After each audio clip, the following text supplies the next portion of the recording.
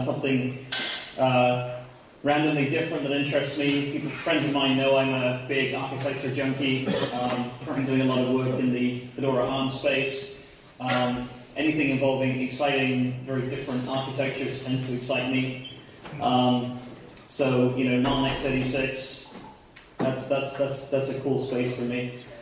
Um, all right, so tile, tile architecture, hands up here if you've ever heard of tile before.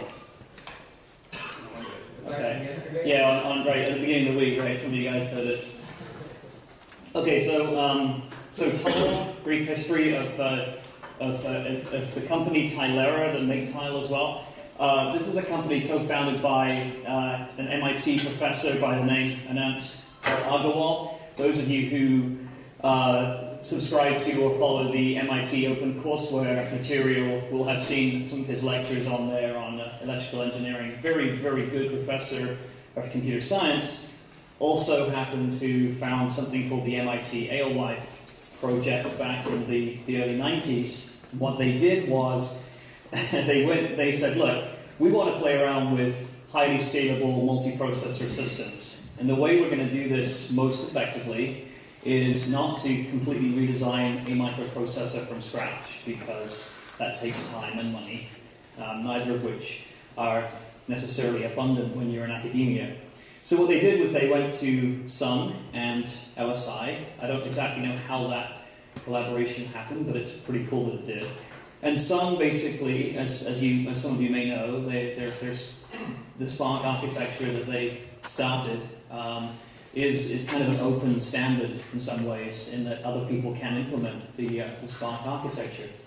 So what they did was they said to Sun, okay, we need to add a few features to SPARC for you know academic purposes, and they created something called Sparcle, uh, which uh, or Spark LE, um, and Sparcle um, is is basically a Sun processor, uh, a SPARC processor but it's been modified to do very fast context switching. Um, and this is this is in the 90s, right? So 14 cycle context switches in the early 90s. Um, and what Sparcle would do that was interesting was it would uh, it would context switch. It would switch from one task to another on all kinds of events, even like a cache miss. Okay, switch to something else, right? While that cache miss gets fixed up, and then I'll come back and do what I was doing before.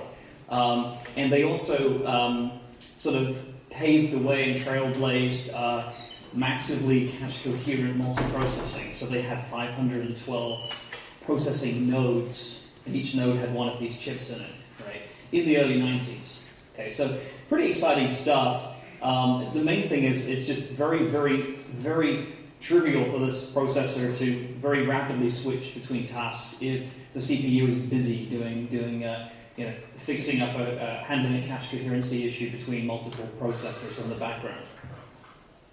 So, fast forward.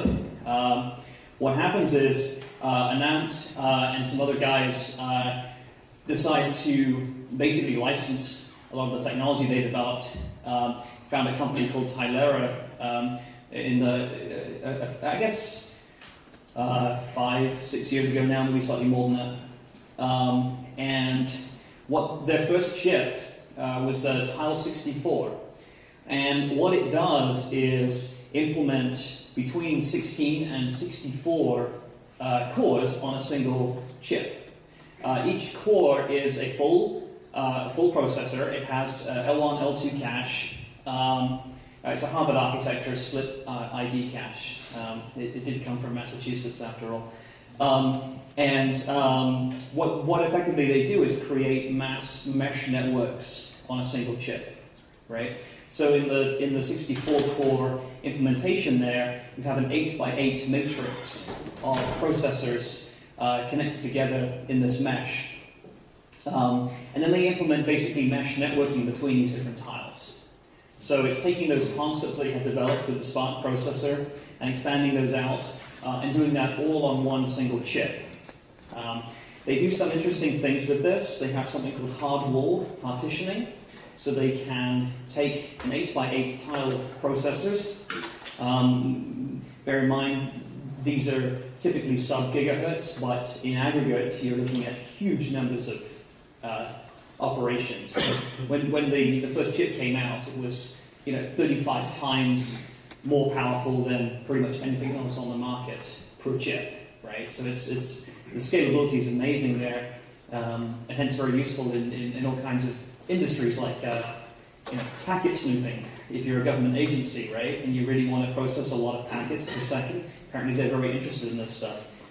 Um, anyway, so Hardwall lets people partition sub areas of the chip. You say, I've got my 8x8 matrix, but I'm going to create, uh, I'm going to take a 4x4 chunk of that, and I'm going to say this is running Linux, and then the rest of it might be doing something else, right? So you can partition out the cores and assign different uh, uh, kind of virtual machines to them, if you like. Um, in fact, it does have a hypervisor. It's a hypervisor-based system, so you can run Linux on a subset of these cores that link together in, in, in, rectangular tiles, or the whole tile if you really want to go there as well. Um, other things they do, again, extending the Sparcle concept, they do um, a virtual level 3 cache. So there's no, uh, there's no actual level 3 cache on this per se, but any tile can uh, collaborate with other tiles to effectively snoop its caches and build what in aggregate is a, is a much larger um, what appears to be a much larger level 3 cache. More recently than this, uh, in the last year or so, Tilera have announced TileGX, which is a 64-bit version of Tile. Um, this has between 16 and 100 tiles on a single chip. They bumped the L1 to 32K, they bumped the level 2 to 256K, and in aggregate, the level 3 can be up to 26 megabytes per chip. Right, it's pretty exciting. Um, the architecture is pretty clean, modern 64-bit architecture. It's got 64 general-purpose registers. Uh, 0 to 55 are normal registers. Uh, John might find it interesting that some of the some of the registers are have special purposes like networking and so forth.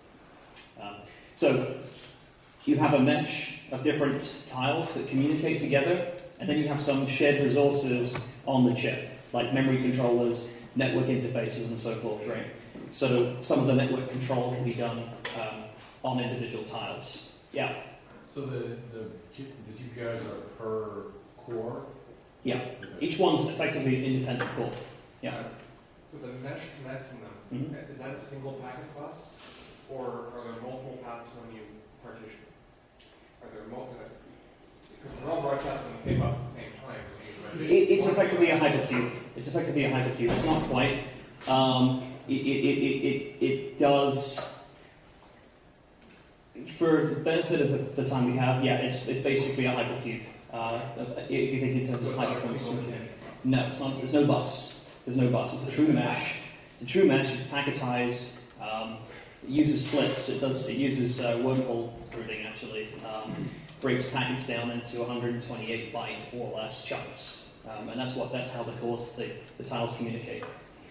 Um, so anyway, so we have uh, we have 0 to 55. If you care, there's a dedicated zero register, dedicated frame, thread, stack, link, syscall registers. Right? It's very common now when we have 64 new 64-bit architectures that we shove in enough registers that we can just keep one around and say, okay, this will always have syscall numbers in it, or you know, whatever. Um, we're not register starved these days.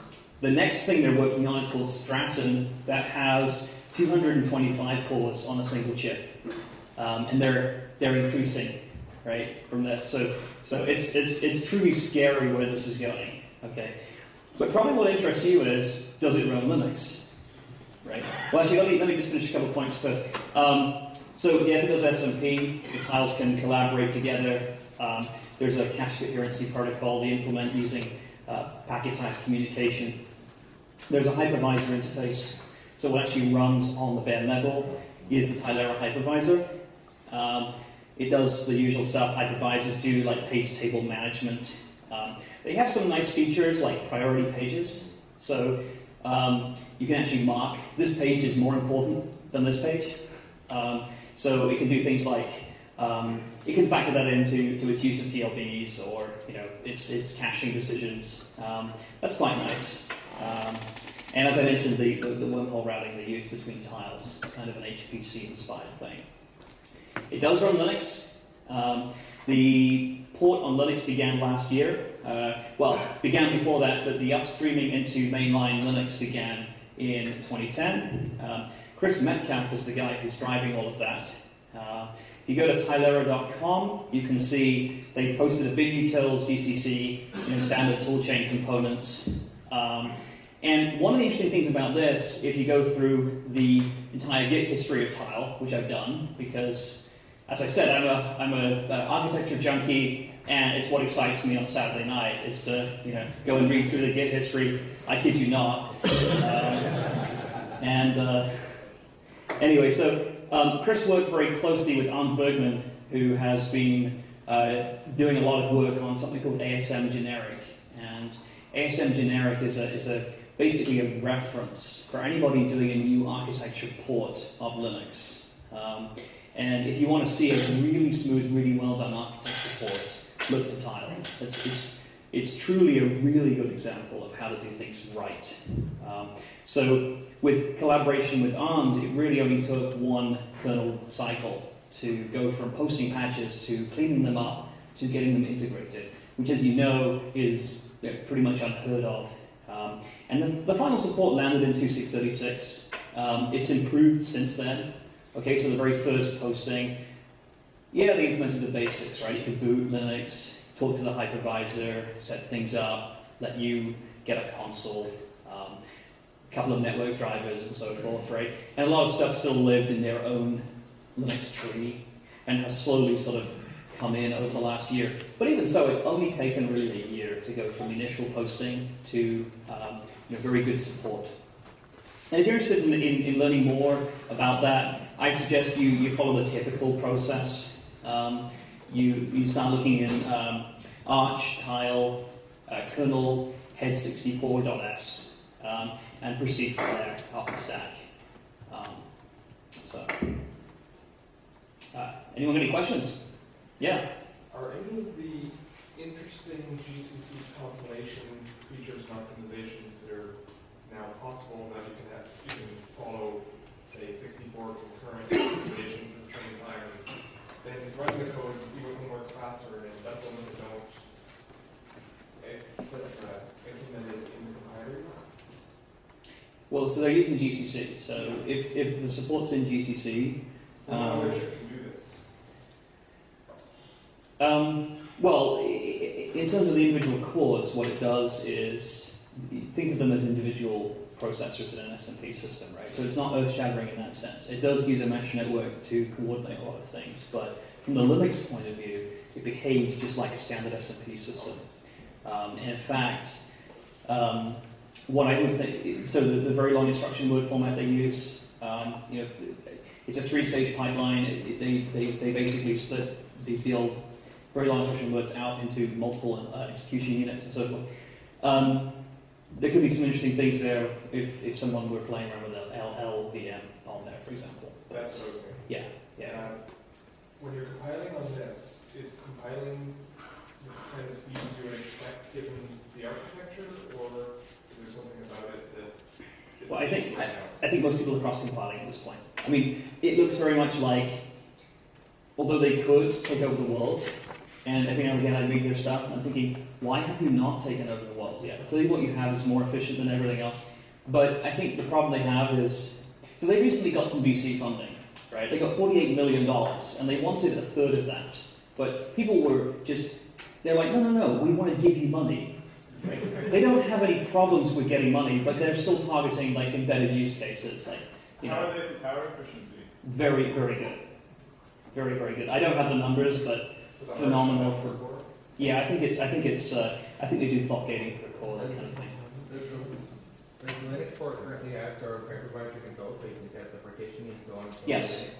Yes, they actually they have a they have a hardwall interface uh, in uh, it's not Proc anymore. I think it's Sys now. Very much. I've never actually run a tile processor. Some people here, uh, one, one, one of the guys here has. Um, it's they're hard to get, right? If they want to give me one, that's great. What else runs on it? What else runs on it right now? I, I think some proprietary.